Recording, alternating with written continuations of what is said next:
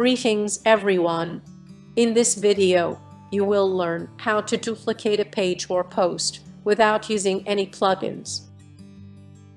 Let's go to our WordPress dashboard. There are lots of plugins which can duplicate pages or posts, but as always, we would like to use our own custom codes. So go to Appearance and Theme File Editor and go Theme Functions.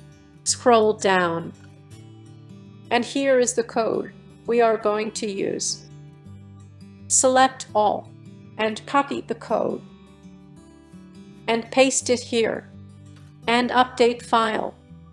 So the file has been updated. Now let me quickly open Post and Pages. If you hover over Post, you will see this duplicate option.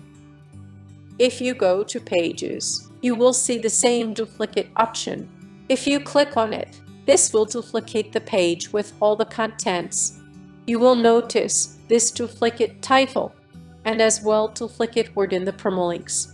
So please change the permalinks and the title, and you can simply publish it or save the draft.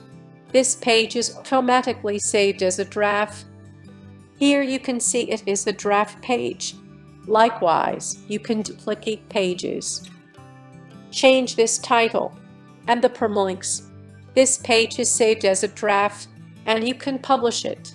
You can also check if the page works or not so this is exact replica of our home page.